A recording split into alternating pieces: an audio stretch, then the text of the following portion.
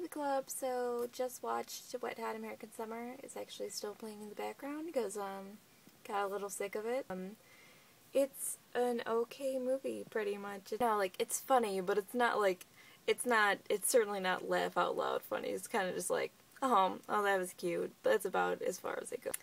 It's actually a really good cast. It's like you know Paul Rudd, Amy Poehler, uh, Bradley Cooper. It's kind of funny to see everybody a little bit younger than they are now, obviously. Um, and uh, yeah, Paul Rudd's not that hot in this movie. So I like what a ridiculous douchebag he is, but it's it's just you know it's okay. It's not that. I mean, to be fair about um this, like I didn't make a Jarhead review for the same reason. I got really bad news early this week, so um, I haven't been in the best mood. So maybe maybe that's why I haven't liked these movies, so don't hate me for hating any of these movies. These, I don't know, hopefully next week I'll be in a better mood and, um, you know, we'll get movies that are better. Sorry for my hipster glasses, is that better?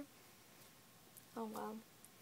Okay, um, yeah, so that's really it. I guess I'll see you guys next week, and, um, oh, I, I wanted to thank you guys for subscribing. I got, like, 30 subscribers in like the last two weeks, which is really cool. I really wasn't expecting anybody to subscribe to me or anything, so I really do appreciate it, and I especially appreciate all the love from other members of the movie club, like um, from Midgie, if that's if that's your name, and Sid and Ram, and a lot of other people. So thank you guys. Um, hopefully I'll be making other videos soon when I'm in a better mood and stuff. So yeah, I don't know. All right, well I love you guys. Have a good weekend. Goodbye.